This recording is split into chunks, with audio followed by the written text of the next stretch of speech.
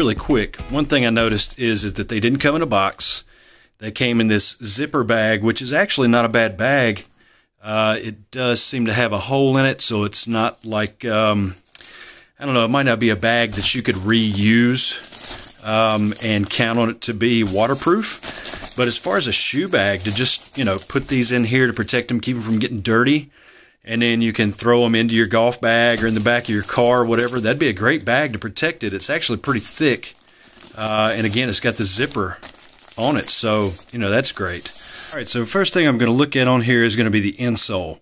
You can see it says Thestron inside. It's got the little logo, and then it's pretty basic.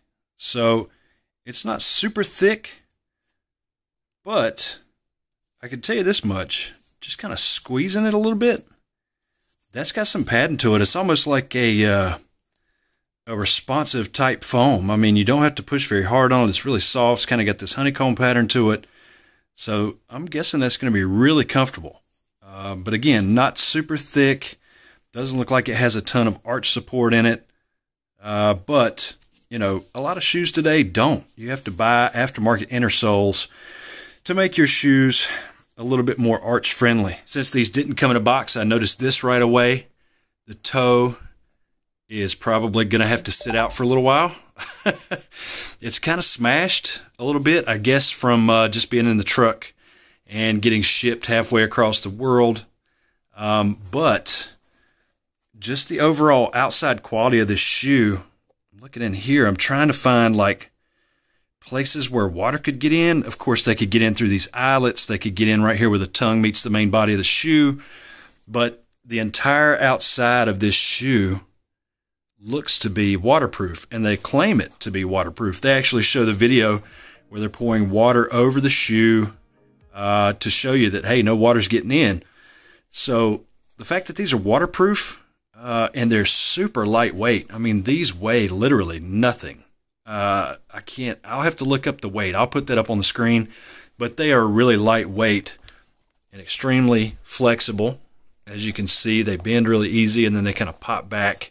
Um, so to be that lightweight, that flexible, have a decent inner sole, and be completely waterproof on the outside, uh, for just a little over forty bucks, man, that's a great deal. Now, the name Thestron got me thinking about the shoes Athalonz that I've seen on several channels and that I've seen also on Amazon. Here they are. You can see they're great construction. They look nice.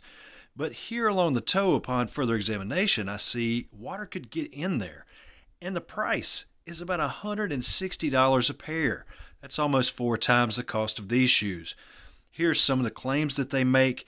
The top increases your power by 9% or more uh, it's a golf shoe. I'm not so sure. They go on to explain here in this screenshot on that same page about how some of this technology in the shoe can add to your distance. Here's the specs for these shoes. You can see they're lightweight, unisex. All in all, I would say this is probably a great shoe. It's just a higher price point and it's pretty standard for the industry.